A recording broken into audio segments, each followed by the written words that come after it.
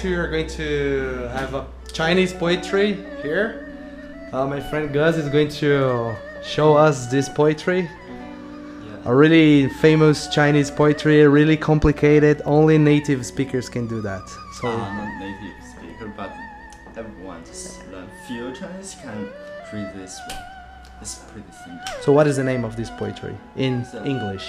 In English, someone it's ten lions on the street. That's nice. Go on.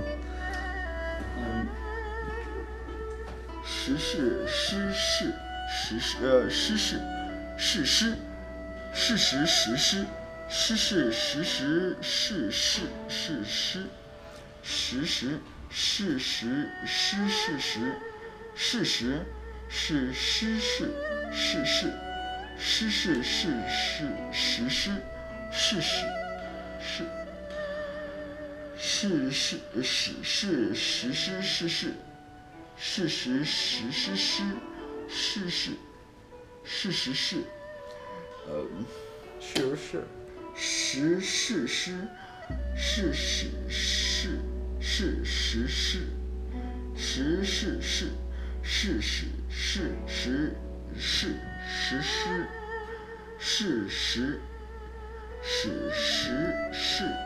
实施施实实实施是是是是。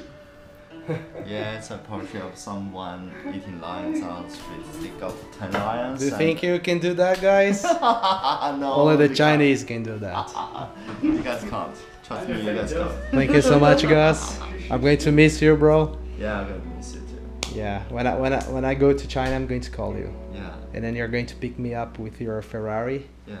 No, no, A lot of girls. Ah, Ching, did chicka, you chicka, mean- yeah, ching. did you mean again? See you, mate.